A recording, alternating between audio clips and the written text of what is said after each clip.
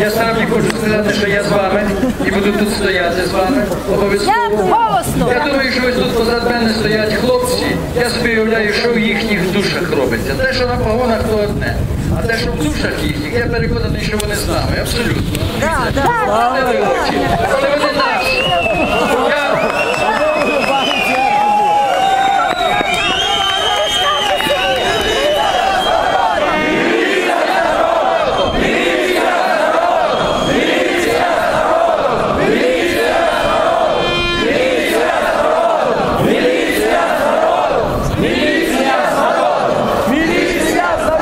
Давайте до нас. І я думаю, що вони будуть з нами. На превеликий жаль, це не їхня вина, що вони мають такого подонка за міністром, який, я вам скажу таке, буквально в минулому році у Литві міністр внутрішніх справ, хай чують і ці хлопці, подарував одному невеличкому дитячому, значить, там парку, де діти бавилися, подарував пожежну стару списану машину. Для того, щоб діти могли по оцих по цій драбинці підніматися на майданчик і скакати відти там з 10 метрів із парашутом. І сталося так, чомусь не знаю як що, що ця драбина десь одного разу обламалась. І дитина зламала собі руку і ногу. Міністр на другий день подав у відставку, хоч він не мав жодного відношення. А цей наказав Беркутівцям, до речі, Беркут абсолютно незаконне структурне утворення. Немає в законі про міліцію і яка про те, що має бути створений Беркут. Але на нього ніхто не звертав уваги, бо вони не чинили такого садистичного і страшного безчинства, яке вони вчинили тут.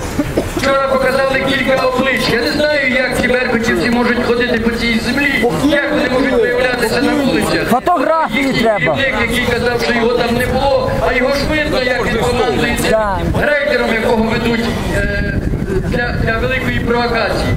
Він не хоче йти, бо міліція розпадеться після нього. Вона і так розпадеться ця міліція. Ви знаєте про це. Через те нам вдалося кілька днів тому відстояти оцих дев'ятих студентів, яких все-таки не судили, а відправили справу на дорозслідування. Сьогодні цей суд перехопив ініціативу суду, ви знаєте, Печерського, який судив Юлію Тимошенко, який судив інших. Я думаю, що в нас один єдиний вихід після перемоги нашої революції. А вона буде обов'язково. У нас немає іншого виходу. Якщо ми зупинимося з вами на півдорозі, вони винищать нас по одному. Пересадять, перезб'ють, перестріляють. Що хочуть зробити? Не маємо права, народи. Ми маємо йти до кінця. Головна наша вимога сьогодні, я хочу сказати, не переживайте за те, не послали уряд Азарова, я його називаю господар. Не послали його в відставку.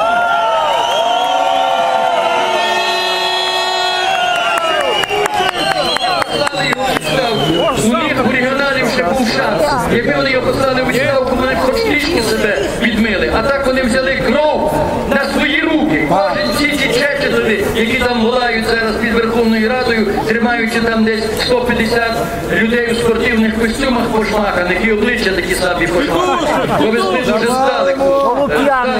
Їх не готують, і не поять нічим. І вони розбігаються. Через те ми мусимо вистояти. Українці, в нас ще раз кажу, немає іншого шансу. Найбільшим нашим ворогом для мене ще десь три тижні тому був. Знаєте що? Це я думав, що нас уже українців і вас, всіх нас, опанував байдужість, опанувала байдужість. Після Ющенка, який наробив стільки всього, що багато людей вже не вірять просто-напросто нікому. Але народ піднявся. Я переконаний, що нація наша, народ наш український, творить самого себе. Все буде нормально. Те, що ми сьогодні прийшли, і ми мусимо тут стояти і бути. Я зараз спробую, я думаю, що мене міліція все-таки депутата пропустять, щоб я пішов до суду і довідатися, яка там інформація. І потім вам доповім. Тримаймося, я вас всіх обіймаю. Ви знаєте, да, Янукович був в Америці і його запитали, а як ви англійську мову сприймаєте? Він каже, очень легкий язик, але дуже много іностранних слов. Україні!